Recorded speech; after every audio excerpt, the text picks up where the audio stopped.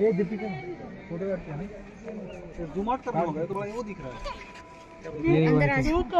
कुछ दिखा फोकस कर लो। कुछ नहीं दिखेगा स्क्रीन में? नहीं वैसे दिखेगा।